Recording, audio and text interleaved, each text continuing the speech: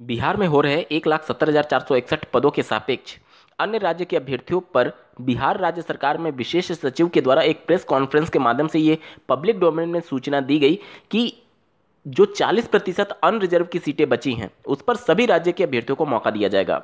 यहाँ पर बहुत सारे अभ्यर्थियों का ये कन्फ्यूज़न रहता है कि चालीस हज़ार कैसे? वहाँ तो सिर्फ़ तेरह हज़ार दिख रहा है अन्य राज्य के अभ्यर्थी के लिए। तो आप सिर्फ़ सामान्य जो सब्जेक्ट है, उसका केवल तेरह हज़ार देख रहे हैं। इसके अलावा उर्दू और बांग्ला के भी सब्जेक्ट्स को अगर आप मिलाएँगे तो सामान्य के लिए जो सीटें बचेंगी, वो लगभग सोलह हज़ार के आसपास बच रही है। और सोलह हज़ार जो आप देख रहे हैं, वो मेल का देख रहे हैं। इसके अलावा महिला की जो 50 परसेंट सीटें रिज़र्व हैं तो जो अनरिजर्व के लिए 40 प्रतिशत सीटें बच रही हैं, उसका 50 परसेंट महिलाओं वाली कैटेगरी में आपको देखना होगा। तो ओवरऑल जो देखेंगे अगर आप 40 का अस्सी हज़ार का चालीस प्रतिशत देखेंगे तो कितना हो जाएगा?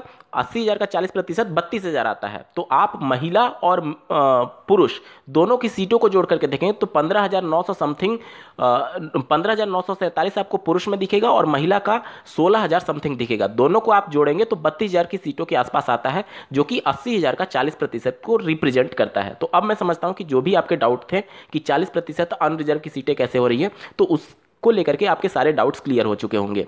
यहाँ पर मैं बात करने वाला हूँ कि बिहार सरकार के विशेष सचिव के द्वारा जब ये सूचना दे दी गई, उससे पहले जिस प्रकार से बिहार में अभ्यर्थियों के द्वारा धरना प्रदर्शन और पूरा पुरजोर विरोध किया गया था कि अन्य राज्य के अभ्यर्थियों को रोका जाए और नियमावली में पुनः जो डोमेसाइल नीति है उसको लागू किया जाए और अन्य राज्य के अभ्यर्थियों को मौका ना दिया जाए। लेकिन राज्य सरकार के स्पष्टीकरण के बाद से अब चीज़ें स्पष्ट हो चुकी हैं कि राज्य सरकार संविधान के आर्टिकल 16 दो के अगेंस्ट में ना जा करके उसको फॉलो करते हुए अन्य राज्य के अभ्यर्थियों को मौका देने वाली है और वो भी पूरे 40 प्रतिशत पर।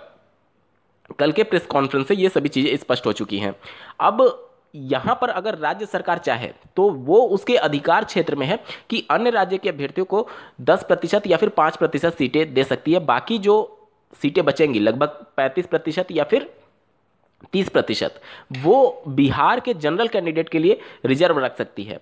इस प्रकार से पहले भी भर्तियों में देखने को मिला है कि अन्य राज्य के अभ्यर्थियों के लिए पाँच से दस प्रतिशत सीटों को रखा जाता है, बाकी की सीटें बिहार के जनरल कैंडिडेट के लिए रखा जाता है। अब चूँकि प्रेस कॉन्फ्रेंस के माध्यम से ये चीज़ें स्पष्ट नहीं हुई हैं और इसलिए बिहार के अभ्यर्थी अब इस मामले को कोर्ट में ले जा रहे हैं कि अन्य राज्य के अभ्यर्थियों को आप मौका दीजिए। आर्टिकल सिक्सटीन टू का बिल्कुल पालन करिए, लेकिन बिहार के जनरल कैंडिडेट के लिए भी तो सीटें रखिए, क्योंकि बिहार में जिस प्रकार से आप देखेंगे डोमिसाइल के अंतर्गत, बिहार में डोमिसाइल के अंतर्गत जो सीटें रिज़र्व की गई हैं पचास प्रतिशत कैटेगरी के लिए और दस प्रतिशत ई e के लिए। इसके अलावा जो बिहार के निवासी हैं और जनरल कैटेगरी से बिलोंग कर रहे हैं, वो तो बिल्कुल एक तरीके से अन्य राज्य के अभ्यर्थी की तरह से आप देखेंगे कि चालीस प्रतिशत पर सब फाइट कर रहे हैं। इसीलिए इस मामले को अब माननीय पटना हाईकोर्ट में अभ्यर्थी चैलेंज कर रहे हैं कि बिहार के अभ्यर्थी जो जनरल कैटेगरी से बिलोंग करते हैं, उनके लिए सीटें तीस से पैंतीस प्रतिशत रिज़र्व कर दिया जाए और बाकी का चालीस प्रतिशत में से जो पाँच या फिर दस प्रतिशत अगर राज्य सरकार चाहे तो उस तो अन्य राज्य के अभ्यर्थियों को मौका दे सकती है।